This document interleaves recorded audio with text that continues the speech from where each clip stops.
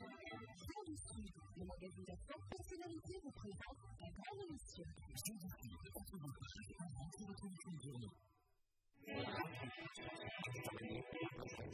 Grande émission.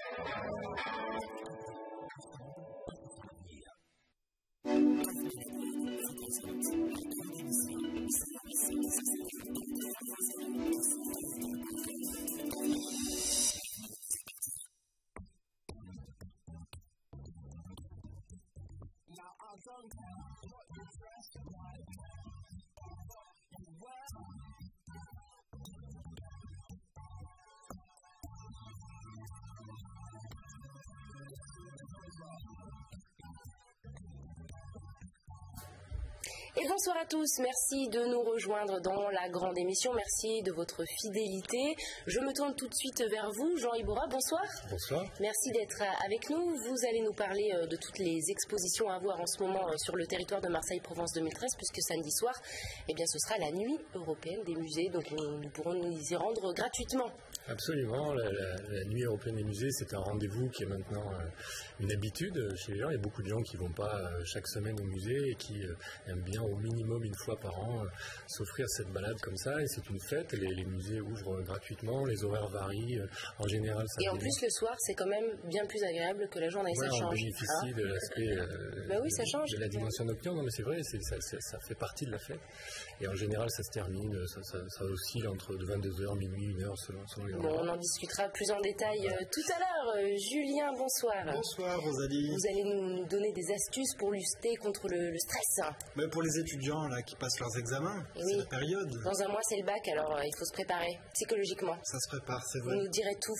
Julie, bonsoir. Bonsoir Aurélie, Vous nous emmènerez grignoter des, des burgers ce Ouais, soir. et ce soir on va être très New York. Après les examens, on va partir un peu en vacances, mais en restant à Marseille. Très bien, parfait. Le détail de tout ça en images. La saison des examens approche à grands pas, le stress aussi, mais ce soir, grâce à Julien Allaire, vous apprendrez à gérer la pression pour mettre toutes les chances de votre côté. Samedi soir, rendez-vous au musée, un événement européen incontournable, surtout lorsqu'on est capitale de la culture. Le point sur les expositions à ne pas manquer dans quelques instants. Enfin, Julie a déniché un tout nouveau burger bar pour vous. À côté de l'Opéra de Marseille, elle vous emmènera déguster une des spécialités. Ah là là, je m'en souviens, je crois que c'était il y a, ouais, il y a une dizaine d'années déjà, mais je me Mais souviens comme si c'était hier. hein, La pression, les cauchemars, les insomnies, l'horreur, les révisions. C'est bien quand c'est fini quand même. Mais hein. si je vous avais connu, peut-être que j'aurais moins stressé, Ben, c'est possible, oui. Je veux donner des conseils. C'est vrai que les mois de mai, juin, euh, c'est souvent euh, synonyme avec euh, examen pour les étudiants qui préparent euh, le baccalauréat bientôt ou, ou d'autres examens ou concours. Oui, il y a tous les bébés. Ouais, dans les écoles. les- ouais. Voilà, et c'est souvent une, une période qui, euh, qui est synonyme de, de- de stress en fait. Et le stress, c'est en partie une bonne chose parce que quand on est sous l'effet du stress, ça nous permet de faire une meilleure performance. Mais le stress, le stress a aussi quand même tendance à, à fragiliser euh, la performance. Il y a des abus euh, de stress. Et aujourd'hui, ce qu'on va voir justement, c'est comment euh, renforcer euh, la mémoire, comment la booster, la concentration pour toute cette période et aussi limiter le stress pour éviter justement euh, euh, de- de de se sentir trop perturbé, Dépassé par les euh, événements. dépassé par les événements. En plus, tout le monde ne, ne stresse pas de la même manière. hein, euh. Il y a différents types de stress. Alors, le stress, normalement, c'est euh, un phénomène naturel de l'organisme de l'être humain qui est fait pour nous maintenir en survie. Ça remonte à l'homme préhistorique. C'est-à-dire que sous l'effet du stress et de l'adrénaline, l'adrénaline va attraper toute l'énergie qu'il y a dans le corps pour la mettre au, au profit de la situation qu'on est en train de vivre. Quand c'est un examen, quand c'est... euh, euh, bah, du coup, on va avoir l'esprit euh, plus, euh, plus clair, on va faire une meilleure performance. Mais quand on a des abus de stress, quand le stress est vraiment chronique, euh, on n'a on n'a plus de réserve vitale, donc on peut plus piocher dans notre énergie. Et là, on commence à avoir des troubles du sommeil, le stress prend le dessus, Des et ça fragilise. ulcères, euh, l'horreur. J'espère que les étudiants euh, n'ont pas euh, déjà des ulcères si tôt, ce, serait, ce serait dommage. Mais le- ce qu'il faut comprendre, c'est que quand on est sous l'effet du stress, on dépense, on, on utilise toutes nos réserves de magnésium. Donc la première chose que doit faire un étudiant euh, lorsqu'il veut être bien détendu, lorsqu'il veut euh, euh, apaiser son système nerveux et même son, son corps physique, hein, les muscles, etc., c'est de combler ses carences en magnésium. Et on peut trouver euh, de- des cures en magasin bio, en parapharmacie, des cures de magnésium marin. Vous allez voir à l'image quelques types de, de différents magnésiums qu'on peut trouver en, en magasin bio. Le magnésium va permettre d'augmenter vraiment toute la concentration intellectuelle. Ça va lutter contre l'endormissement, contre la fatigue, euh, ça lutte contre l'insomnie, l'anxiété. Alors on trouve tout type de magnésium. Ce sont des cures en général qu'il faut faire, euh, qu'il faut commencer dès maintenant là pour les étudiants. Il faut commencer dès maintenant. et Il faut que la cure soit prolongée euh, jusqu'après la période des examens. Comme Pour les ça, on-. Voilà, pour les résultats. Une fois que les résultats sont passés, euh, vous pourrez arrêter euh, la cure de magnésium Pouvoir dormir tranquillement. euh, pour pouvoir dormir aussi, bien entendu, parce que euh, quand on, quand on passe des examens, il faut qu'on ait un sommeil qui soit vraiment euh, récupérateur. Alors là, vous voyez euh, des compléments alimentaires de ginkgo biloba. Le ginkgo biloba, c'est une euh, plante qui a une action, euh, par exemple, sur euh, la circulation sanguine, mais pas uniquement. Elle, a une, euh, elle agit en fait sur la mémoire et c'est-à-dire qu'un étudiant, quand il travaille, il a besoin de booster sa mémoire, forcément, pour euh, emmagasiner toutes les informations euh, qu'il doit prendre et qu'il doit retransmettre ensuite le jour de l'examen. Donc des cures de ginkgo biloba, on en trouve aussi en parapharmacie ou en magasin bio. Ce sont en général des petites ampoules qu'il faut mettre euh, dans une bouteille d'eau ou dans un verre d'eau et, euh, faire une cure. Oh non, le ginkgo Ça a pas biloba, ça n'a pas trop trop mauvais goût, puis euh, c'est dilué, parce qu'on peut le diluer dans un verre d'eau, dans une bouteille. Là, ça va vraiment booster, renforcer euh, la mémoire pour que l'étudiant puisse euh, se rappeler de, de tout. Non, en théorie, quand on apprend quelque chose, on devrait ne jamais l'oublier. Ce qu'on oublie, c'est le chemin pour retrouver l'information qu'on a euh, stockée normalement dans le cerveau. Et bien là, en fait, le ginkgo biloba, cette plante va aider justement à retrouver le chemin de ce qu'on a appris. Donc c'est une, euh, une plante qui est vraiment super pour les étudiants. Donc là, vous nous parlez de compléments alimentaires. Je suppose qu'il doit falloir euh, une alimentation aussi équilibrée et puis un sommeil euh, raisonnable aussi. Il va falloir Absolument, dormir. Donc, par rapport à l'alimentation, c'est vrai qu'il y a un aliment majeur, type, qui, qui va permettre aux, aux étudiants de, bah, de bien favoriser la concentration chocolat, la mémoire. chocolat, oui, c'est ce que j'allais dire. Alors, le chocolat, ce serait par rapport au magnésium. En revanche, on ne comble pas une carence en magnésium avec du chocolat. Ou alors, il faudra en manger beaucoup et le foie n'aimerait pas vraiment ça. Mais c'est le poisson, les poissons gras. Les poissons gras comme euh, anchois, sardines, maquereaux, harengs ou encore le saumon sont des poissons, le foie de morue aussi, qui, euh, qui ont énormément d'oméga 3. Et les oméga 3 nourrissent le cerveau. C'est ce qu'on a besoin. C'est ce, que les- c'est ce dont les étudiants ont besoin justement pour, euh, pour préparer au mieux ces examens, non seulement pour apaiser le système nerveux, mais pour euh, booster le cerveau, pour faire une, une bonne performance. Il y a aussi euh, pour les oméga 3 les bonnes huiles végétales. Alors c'est vrai que dans notre région, on a l'huile d'olive bien entendu. Bah oui. C'est une huile qui est excellente parce qu'elle contient des oméga 9, c'est bon pour le système cardiovasculaire, mais là pour les étudiants, il faut des huiles qui contiennent des oméga 3, comme par exemple l'huile de colza qu'on trouve très facilement. Il vaut mieux la prendre en bio pour qu'elle soit vraiment thérapeutique. L'huile de noix également, qui est, euh, qui est excellente au goût Oui, et qui contient bon beaucoup d'oméga 3. Et euh, vous pouvez en rajouter euh, dans vos plats, dans tous vos plats. Il ne faut pas les faire cuire celles-ci. Mais C'est- par contre, il faut mieux les acheter en petites bouteilles parce que j'ai l'impression qu'elles deviennent rinces plus vite. Absolument, vous avez tout à fait raison. Les huiles qui contiennent des oméga 3, elles ne supportent tellement pas la chaleur. Déjà, bon, c'est vrai, il ne faut pas les cuire, mais il faut aussi les stocker au réfrigérateur. Et une fois qu'elles sont ouvertes, il faut les consommer très rapidement, dans les, euh, entre un mois et trois mois. Si vous avez une petite bouteille, c'est bon. Mais pour là, pour les étudiants, euh, il n'y a aucun problème parce que les examens approchent. Oui, mais on va pas euh, boire un litre d'huile dans le mois, quoi. Non, mais vous pouvez consommer quelques cuillères à soupe euh, chaque jour et ça part assez vite en fait. hein, Donc, Julien, pour résumer, des compléments alimentaires à base donc, de magnésium Magnésium, c'est déjà un bon complément alimentaire. qu'on peut se procurer dans parapharmacie, magasin bio. En magasin bio, vous avez très facilement des magnésiums marins qui sont vraiment bien assimilables et qui apaisent bien le système nerveux. Il existe aussi euh, l'oligothérapie qu'on trouve euh, en général en parapharmacie. Euh, au niveau de l'oligothérapie, c'est le manganèse et le cobalt qui sont euh, deux oligo-éléments. C'est plus petit que les minéraux, c'est plus subtil. Mais euh, déjà, l'avantage, c'est que c'est une, une thérapie qui est peu coûteuse.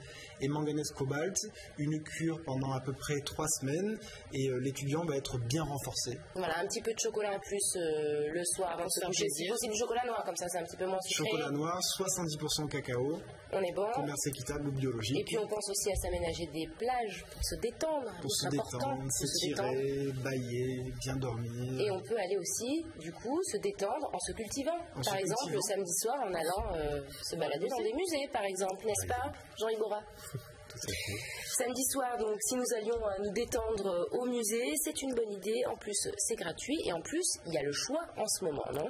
Oui, absolument. Il y a une, alors, on est capitale européenne, donc euh, il y a une, floraison de projets, d'expositions. Et donc euh, la nuit des musées traduit en partie ça. On va, on va regarder un peu les propositions. Et il y a par ailleurs euh, d'autres expositions très importantes. Là, on va débuter la, sais- la saison des expositions d'été. Il y a vraiment des propositions exceptionnelles. Alors, si on parle un peu du- de ce qu'on peut voir. euh, En ce moment, les samedis soirs, oui. soir, voilà. On a donc, le J1 déjà. alors on a le J1. Alors le J1, c'est ce, ce- ce grand hangar qui donne sur la mer, là, qui, est- qui est ouvert depuis, depuis le 12 janvier, qui a déjà accueilli presque 200 000 personnes. On voit les images là d'ailleurs. Voilà. Et donc dans ce J1, on peut voir la grande exposition Méditerranée, qui est une exposition d'histoire et qui raconte l'histoire de la Méditerranée depuis la gare de Troie jusqu'à Marseille du début du 19e siècle, avec des, à la fois des œuvres, des films euh, et des vidéos de témoignages de Méditerranéens d'aujourd'hui. C'est une exposition euh, qui a déjà euh, accueilli 100 000 visiteurs. C'est vraiment à voir. Elle se termine le, le- il y a comme il y a eu du Le succès, 26 mai elle voilà, il y a Et une, oui, faut- prolongation d'une semaine.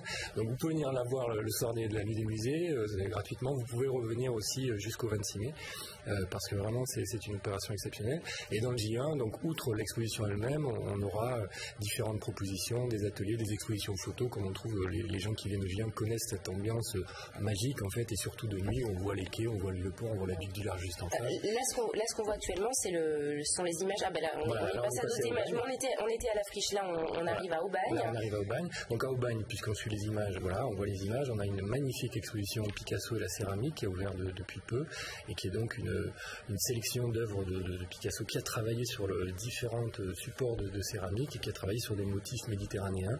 Euh, il avait un rapport à la Méditerranée au et, et au Midi euh, vraiment très très fort et très affectif. Et puis c'est voilà. même plus qu'une exposition de, céramique, puisque c'est carrément une exposition de sculpture, hein, parce que Oui, c'est avec la, Voilà. céramique. Là, on est au musée Rodin, on est Rodin. à Arles, on va très vite sur les images. c'est bien parce qu'en même temps, on fait, on fait un tour du territoire. Et cette capitale, c'est vraiment tout un territoire. Donc là, on voit, euh, c'est le musée départemental arlentique, donc à et qui euh, contribue à, à l'effervescence générale en Ça, c'est présentant. le, le plâtre du penseur en plus. Ouais, c'est ça, c'est en mettant en parallèle euh, des œuvres de Rodin et euh, des, des sculptures antiques pour montrer la façon dont Rodin s'est inspiré et a travaillé à partir de références de, de sculptures grecques, romaines, etc. Et donc c'est une exposition qui est, qui est assez magistrale de ce point de vue-là, avec des, des- des- des pièces magnifiques. La, la Vénus d'art, notamment, qui est rarement exposée, puisqu'elle est, au Louvre en général. Ouais, elle ouais, est- pièces du Louvre, il y a des pièces du musée Rodin. Ça, c'est du British Museum, là, c'est Voilà, Il y a- il y a le. vraiment des, oui, des propositions euh, Ah oui, il y exceptionnelles. a de, de magnifiques expositions. Profiter, vous, vous en avez fait quelques-unes, euh, vous?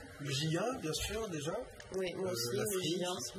La friche, c'est alors vous êtes allé voir peut-être l'exposition ici ailleurs. Ce qui en ce moment, c'est l'exposition euh, de la dernière vague. Donc ça, c'est tout à fait parce qu'en même temps, c'est pour différents types de publics. Donc là, il y a une- plutôt une exposition et, et une proposition générale qui est plutôt pour le, le- le jeune public, les ados, etc.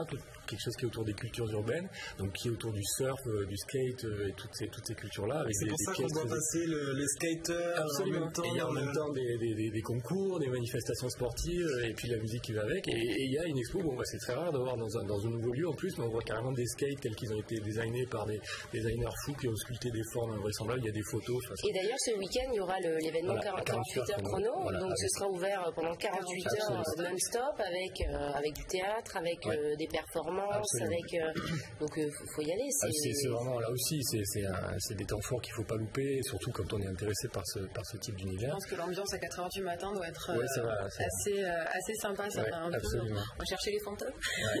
Ça, c'est à la friche. Ça, c'est Ça, à la friche. Donc, on a, on a euh, à Arles, donc pour euh, refaire un petit tour, Ouais. à Arles, on a vu le musée Rodin, Ouais. euh, enfin le, le musée de l'art antique avec l'exposition euh, Rodin. Voilà, à Arles, il faut ajouter une très très belle expo qui a été, euh, voilà, qui a été inaugurée hier soir, qui s'appelle Nuage, qui est au musée Réatu, en plein centre d'Arles, qui est un très très beau musée, Ouais. qui est un écrin. Et alors là, c'est vraiment une- un, un clin d'œil, c'est-à-dire au pays du soleil. euh, Toutes les expos euh, en général traitent de la, on va en reparler, mais du, du soleil, de la lumière. Et là, la commissaire a choisi de parler du nuage. Euh, et euh, elle traite donc du thème du nuage euh, à travers toute une série d'œuvres qui D'art contemporain, c'est de l'art contemporain. d'art contemporain, mais il y a aussi des œuvres patrimoniales, il y a des choses qui viennent de Chine, enfin il y a des pièces absolument incroyables. Ça va de la photo à la sculpture, en passant par des installations, il y a des vidéos, enfin, et on- il y a énormément d'œuvres. Ça a une poésie, une subtilité, ça renvoie chacun à sa rêverie. on a tous regardé des nuages et regardé les formes, etc. Et là, ce regard des artistes, enfin, c'est une espèce de, de balade comme ça, dans la légèreté, dans la poésie, puis qui s'aventure de temps en temps du côté de la science, du côté du quotidien, du côté de- du surréalisme. Et franchement, c'est une fête de l'esprit, c'est un très très très, très beau rendez-vous. Tous les gens qui ont, qui ont découvert, il y avait Christian Lacroix qui était présent parce qu'il est proche. euh, Oui, il a eu aussi d'ailleurs une très belle exposition à, à l'abbaye de Montmajour euh, où il a sélectionné des œuvres en verre et il a fait lui-même une sélection et tout ça s'est présenté dans un lieu magnifique qui est, qui est la- l'abbaye de Montmajour. Et donc cette exposition de nuages aussi est un- vraiment une très belle proposition et j'invite tout On le monde à, sent très très passionné, ça donne vraiment envie d'aller à Arles pour euh, voir toutes Voilà. ces expositions. Alors, il y a- il y, en a plein d'autres. Au Bâle, c'est magnifique. À Marseille, bon, il y a d'autres. On, on peut aussi évoquer le musée Regard de Provence, qui a été ouvert il n'y a pas longtemps. Oui, ça aussi, c'est l'occasion d'y aller, ouais. à la mer. Et puis, ça nous amène aussi aux ouvertures très très prochaines, bientôt, euh, qui sont absolument des événements. Bon, tout le monde a entendu parler, reparler du MUSEM. Oui, mais surtout, surtout récemment, depuis voilà, deux, trois jours, mais c'était mais, pas pour la mais même c'est un événement absolu. euh, je veux dire, c'est vrai que l'ouverture d'un musée national et l'architecture est absolument somptueuse et réussie. 7 juin, le 7 Voilà, juin, 7 juin, l'ouverture du. MUSEM. Et donc, on pourra découvrir à la fois les collections, les deux grandes expositions d'ouverture, celle sur le noir et le bleu, qui est l'histoire de, de l'idée méditerranéenne hein, des, des débuts des campagnes de Bonaparte jusqu'à aujourd'hui, avec les, à la fois le, le versant lumière de la Méditerranée et puis le versant contrasté, dur, fracture, etc. Et puis, il y a une autre exposition qui s'appelle le Bazar, Le bazar des gens, oui, voilà, ça, qui est un traitement euh, sur les relations entre hommes-femmes, entre sexes, etc., en Méditerranée. Et on va découvrir la façon qu'a ce musée de civilisation, ce qui est une rareté. hein. Il n'y a pas beaucoup de musées qui, ont cette approche-là. Il y a des musées d'art, il y a des musées d'histoire, il y a des musées de, société. Mais un musée comme ça qui traite des questions de civilisation et qui fait des approches comparatives comme ça sur des thèmes donnés, c'est assez unique. Et donc, Dans un lieu superbe. dans un lieu qui en lui-même est un symbole avec la passerelle euh, qui relie le Fort Saint-Jean au bâtiment de Rudy Ricciotti. Enfin, ça va être vraiment Marseille là un très très très bel outil culturel et je, mais je- je suis certain que ça va être pris On d'assaut. pourra aller manger dans un très bon Et il y restaurant aura- aussi. voilà. Il y a, il y a Après à côté de ça la, la Villa Méditerranée, donc le, le bâtiment en porte-à-faux de, de la région qui lui-même proposera des expositions, des rencontres, euh, des, euh, des, des colloques, etc., des spectacles. Euh, et puis, alors, il y a euh, alors, peut-être l'exposition phare de l'été, qui est euh, là encore une première, parce que c'est la première fois qu'on fait une exposition commune entre Aix et Marseille. Ah oui, c'est Cette exposition, c'est le Grand Atelier du Midi, euh, et donc avec deux volets, un volet à Aix qui s'appelle de Cézanne à Matisse, et un volet à Marseille qui s'appelle de Van Gogh à Bonnard. Et À Matisse, ce sera à la. Cézanne à Aix, Cézanne à Matisse, c'est à Aix. Oui, euh, à, à Marseille, pardon. Et, et à- à- au Palais Longchamp à Marseille, c'est de Van Gogh à Bonnard. Et donc, c'est, euh, on, on va à travers 200, 200 chefs-d'œuvre, donc à peu près 100 à une centaine à Aix et une centaine à Marseille, suivre la relation passionnée que les artistes ont eu avec ce territoire du Midi au sens large, c'est-à-dire pas que la Provence, ça va jusqu'en Italie, jusqu'en Espagne, des fois ça traverse la Méditerranée, et on suit, alors avec un parti pris qui est, simple et facile à suivre pour le, pour le public, euh, qui est celui de, de la forme à Aix et celui de la couleur à Marseille.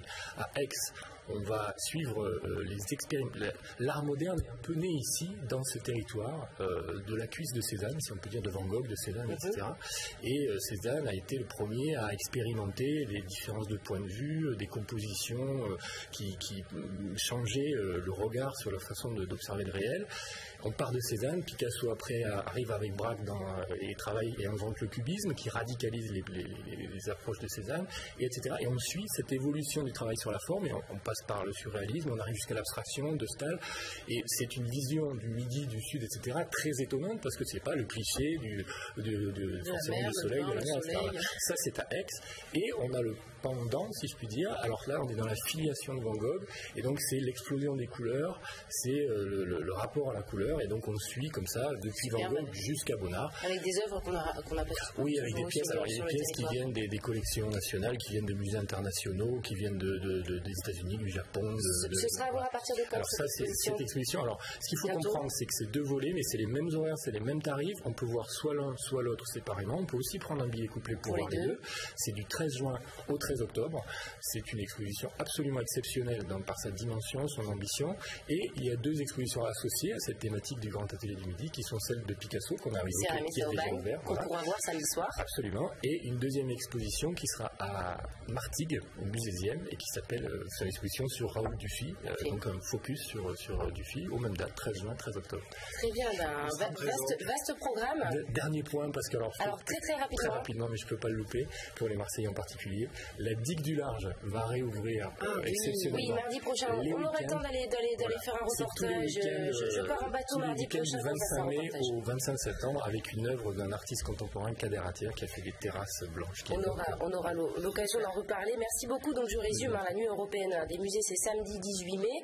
Et les musées sont ouverts la nuit. Pour avoir la liste des musées, bien, soit vous allez sur le site euh, euh, de, euh, bah, de nuitdesmusées.culture.fr, soit sur le site de MP 2013. Hein. comme ça, vous aurez, vous aurez toute la liste des choses à voir. Allez, à présent, nous allons nous restaurer, nous allons Yelp Jingle.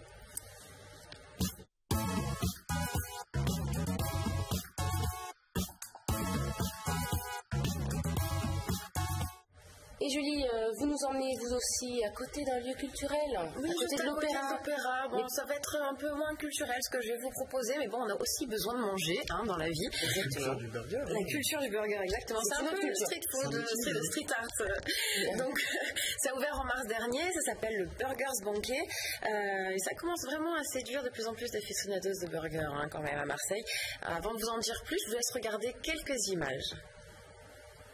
Thank you.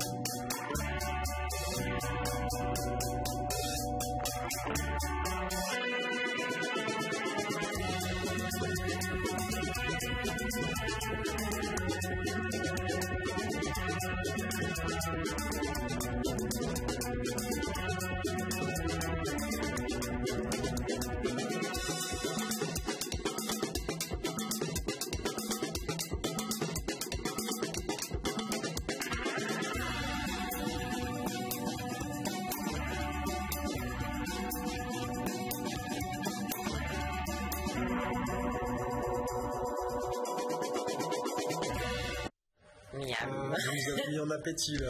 Mais oui, j'en ai même pas emmené sur le bateau. Je, ne sais pas si c'est très bien pour se, pour se concentrer pour les examens, ça par contre. Euh, si c'est au saumon, oui. Le ah, burger au saumon est très bon là-bas, je l'ai testé. Ah, vous êtes pas allé alors. Non. Mais j'ai pas vu de burger au saumon, attendez, je Non, non, non, non, vous vous trompez. Vous vous trompez l'adresse. Non, non, là, le, burger, le Burgers Banquet, donc ça ne doit pas du Vieux-Port, sur le parvis de l'Opéra, comme on, le disait. Donc l'idée de base, c'était de faire un restaurant inspiré des voyages. Euh, il y a trois associés, donc des deux premiers associés, qui sont euh, tout le temps vers l'Asie, les États-Unis principalement. Euh, cette tendance un peu hipster, vintage, qui, qui, grandit actuellement et qui, qui, fleurit un peu partout. Alors je ne sais pas si vous savez ce que c'est exactement ce terme de hipster, cette, cette tendance. Vous allez nous le dire. Bah oui. Ça vient en fait des années 40. Les hipsters à la base, c'était les premiers fans de la scène montante jazz.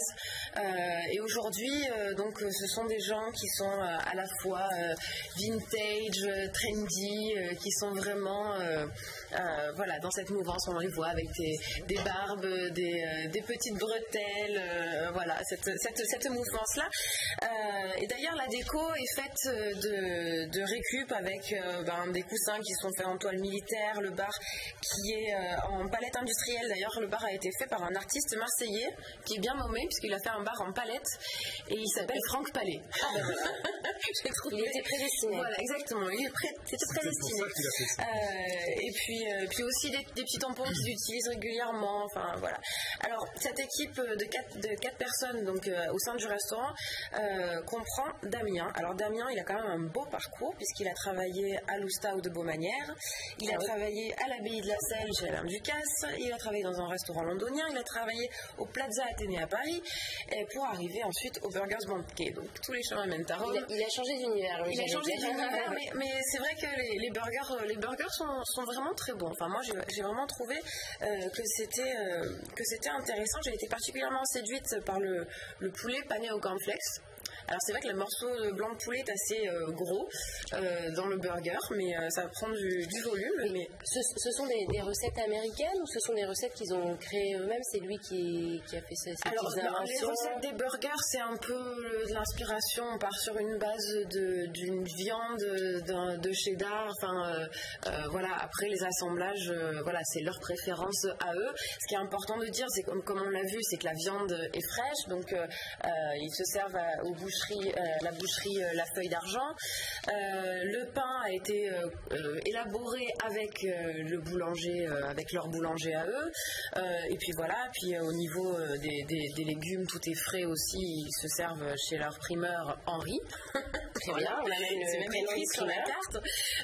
Et donc, si je peux vous lire quelques avis de, de Yelper, vous allez voir, ils ont déjà quatre avis, et si je dis pas de bêtises, euh, trois, trois étoiles et demi, quasiment quatre étoiles. Alors, Annie H nous dit qu'après une matinée shopping avec sa fille, qui est une adolescente, elle a adoré la dé- déco de ce resto à burger qui l'a transporté quelques instants à New York. On peut le voir un peu. c'est vrai euh, que c'est très c'est sympa, un peu industriel, un peu hipster, c'est c'est très sympa. Pauline J a choisi un cheeseburger qu'elle a trouvé ni trop gros, ni trop petit, ni trop gras. Idem pour les frites maison, avec un petit plus pour le steak vraiment bon et le pain un peu grillé. Donc euh, voilà, ça, c'était un, un bon point. Euh, et puis et puis aussi juste les frites sont servies dans des petites barquettes juste adorables qui ressemblent à des petites euh, friteuses. C'est vraiment euh, très très chou. Donc je vous invite à y aller. Les prix, les prix, on a Les prix, alors on est entre 12,50€ et 13,50€ pour les burgers, mais c'est vrai qu'on a bien mangé avec, c'est servi avec un petit coleslaw, euh, des frites. C'est quoi un Le coleslaw coleslaw, c'est la petite salade américaine qui est faite avec euh, du, euh, du- des carottes, Ah oui, du chou, Céleri, du céleri, euh, enfin voilà, une petite salade fraîche.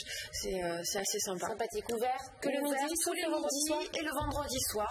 Euh, bon, et pas le dimanche euh, non plus. Hein. Euh, Le dimanche, euh, c'est fermé. Formidable. L'adresse voilà. exactement? Euh, L'adresse exactement, et ben je l'ai plus sous les Comme, yeux, mais vraiment, vous quand regardez l'opéra, vous êtes sur le parvis l'opéra, vous regardez l'opéra, c'est à votre gauche. Rue Mozart, Rue Molière. Molière. Rue Molière, ah, c'est un autre. Il y a Molière à gauche et Eh ben, Mozart à droite. exactement. Mer- Merci beaucoup Julien. Un bon plan très très très rapidement pour rapidement, terminer. mercredi prochain, en fait, il y a le collectif Borderline qui a carte blanche pour lancer la saison du théâtre Sylvain. Vous savez, ce théâtre qui est à ciel ouvert euh, au bout de la corniche, à côté du Petit Nice. Donc, ça va être une soirée sous le signe du jazz, euh, élec- d'électro-jazz et de la soul, avec euh, le pianiste qui a contribué aux albums de Saint-Germain, vous savez, Flûte, euh, Touriste, etc. Donc- ça coûte 10 euros. C'est gratuit pour les moins de 18 ans. Et c'est mercredi C'est mercredi 28 à partir de 19h. Donc, vraiment, Formidable. euh, allez-y. Eh ben, nous irons. Puis nous aussi, nous avons un autre bon plan à vous proposer.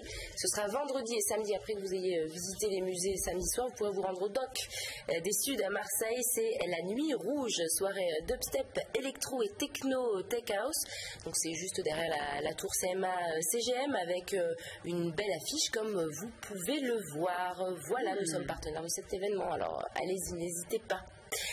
Nous terminons bien entendu avec une envie de, de vacances peut-être. Vous avez envie de, De de soleil. partir en vacances oui. ça, ça vous dit Avec grand Ah oui, plaisir. Même si, même si l'été se fait attendre. Bon, ben, en Corse. Ah, Je sais pas trop. Corse. c'est bien, non En Corse. hein. Mais alors, euh, vous savez que pour pouvoir aller en Corse et gagner euh, vos places pour deux en cabine avec une place pour la voiture, bah oui, parce que quand on fait les choses, on les fait bien à LCM, hein, logiquement. Il faut, euh, bah, il faut évidemment euh, avoir euh, envoyé jeu au 633 88, être sélectionné et surtout, et surtout répondre, répondre à la, à la question, euh, la question, la très très difficile question que nous posons. Alors ce soir, c'est ce n'est pas vous Julie, mais c'est une autre Julie Une qui autre va s'y Julie. coller. Et est-ce que Julie était avec moi? Oui, Oui, bonsoir Julie, ça va bien? Bonsoir, oui, ça va. Vous nous appelez d'où? De Marseille.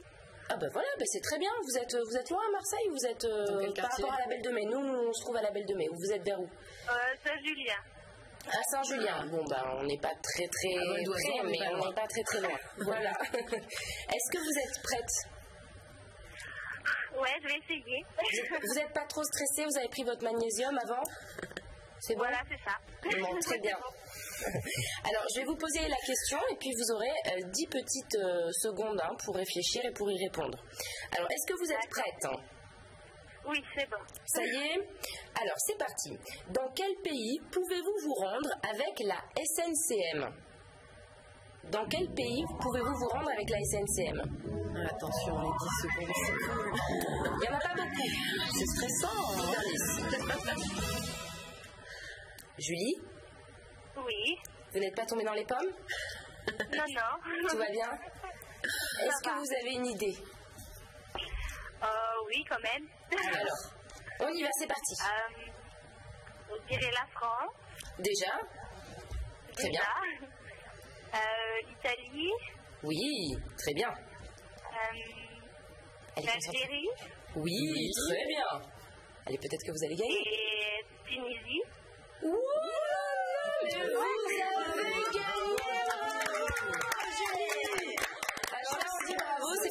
Suis ravie pour vous. Vous êtes contente? Ah ben oui, moi aussi. Ah bah oui. Ben, On est tous contents pour vous là. Avec qui vous Avec qui vous partez?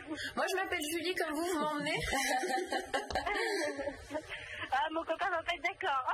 Ah, donc vous partez avec votre chérie. Ben, vous avez bien raison. Ah, super. Voilà. Bah écoutez, votre fidélité à LCM aura été récompensée. Merci, merci beaucoup euh, d'avoir Eh ben, participé. Ne raccrochez pas, on va vous reprendre, euh, on va vous reprendre pour, euh, pour évidemment antenne. vous, vous donner, vous donner toutes les infos pour pouvoir remporter vos places. Merci beaucoup Julie. D'accord, merci beaucoup. Au revoir, merci.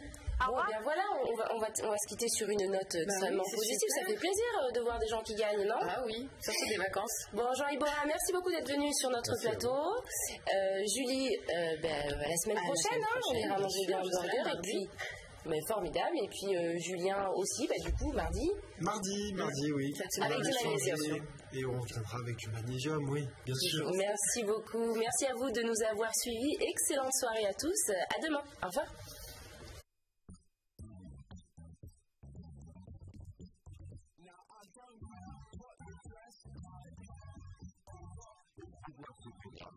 ancienne préfère.